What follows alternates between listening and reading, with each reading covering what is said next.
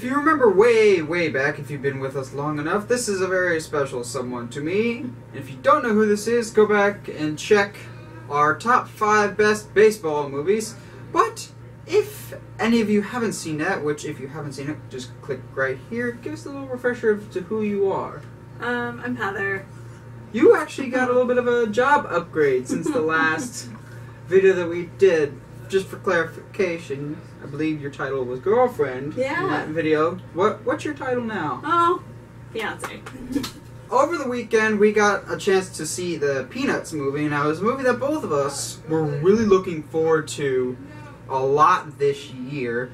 Heather, why was why were you so excited for the Peanuts movie? It just looks so good.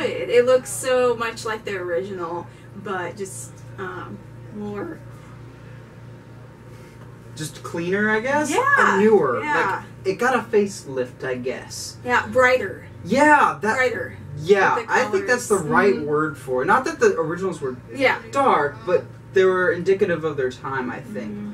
And so we got to see it. We were both, we're not die-hard Peanuts fans, I don't think, but we thoroughly enjoyed it, and I think it's a Christmas, not, well, Christmas tradition for uh, the Christmas one, and then for me, it's a tradition to watch this, uh, Great Pumpkin Charlie Brown every October-ish. Mhm. So we saw it, and our initial thoughts were, it was good. It's pretty good. Yeah. It was a lot of fun. It was true to what the Peanuts were. Mhm. Now, what I liked most about this, and we, you and I talked about this, was it felt like the originals, just newer.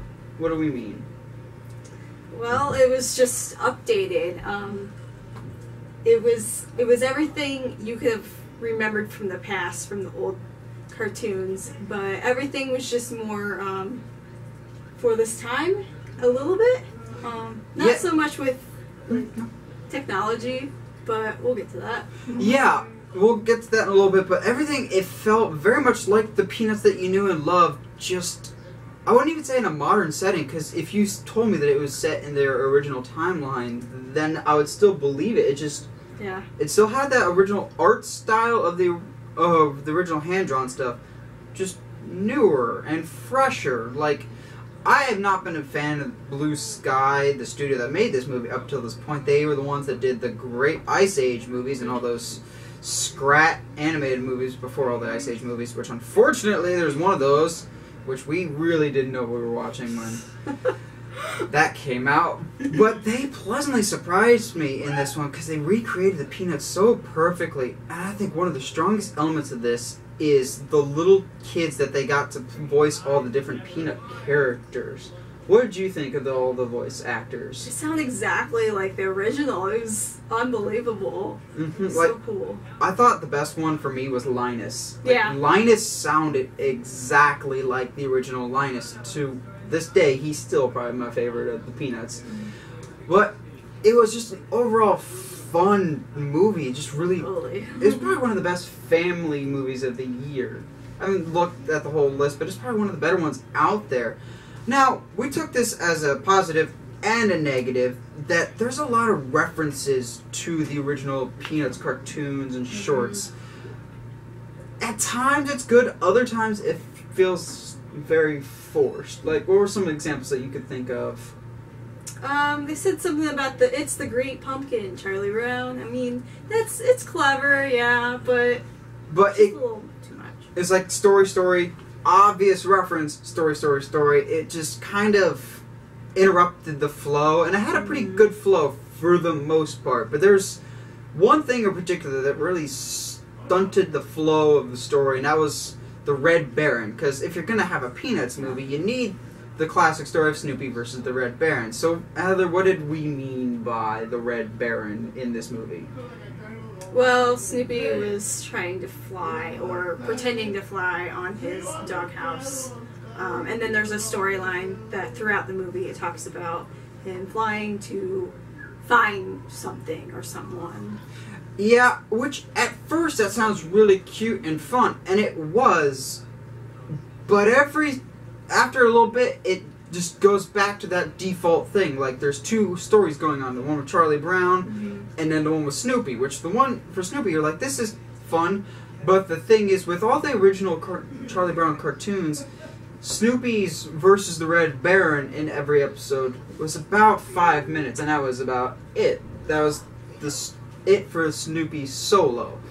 But this they kept going back to, and I don't know if that's because Snoopy's such a beloved character now. Mhm. But like it was cute and incredibly well animated. I thought that was some of the best anime stuff was when he was when he was flying on a house.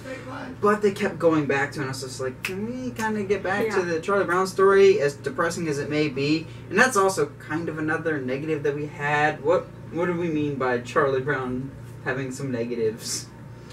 Well, um, they were already they kind of put him down a lot, and I mean I know he's just kind of like the average kid, but they didn't really boost his self esteem, and I didn't like that. Yeah, like part of the charm and character of Charlie Brown is he's always the good guy no matter what, and he's the cheerful loser, I guess. Like he's got all this bad stuff that happens to him, yeah, he keeps his chin up. But this one is just like every time you think he's about to catch a break, something bad happens. At some points, I was just like, seriously, just let him have this one. He deserves it after all of this. Mhm. He eventually gets some happiness, but it, it wasn't the payoff that he deserved at the end No. not dipping like anywhere near spoilers, but it was just it was a good ending, but not as happy as I would have liked it to be. Right, It was right. charming ending. So Heather, overall, what would you give the Peanuts movie out of ten? Um, probably like an eight or eight and a half. Yeah, I think it's somewhere around there. It's really heartwarming. It's a good family film. Probably for this Thanksgiving holiday, Yeah. I'd recommend seeing Peanuts more than anything else out there right now. Yeah, definitely. But it's not a perfect movie, but it's it's one of the more charming family friendly movies out there this year. Well, what did you guys think of the Peanuts movie? Did you like it? Did you not? Have you seen it? Let us know in the comments below. And as always, if you like what you've seen and want to see more, subscribe to the channel or find me on Facebook, Twitter, or Instagram at 17 Movie Reviews. Stay sharp, movie guys and gals.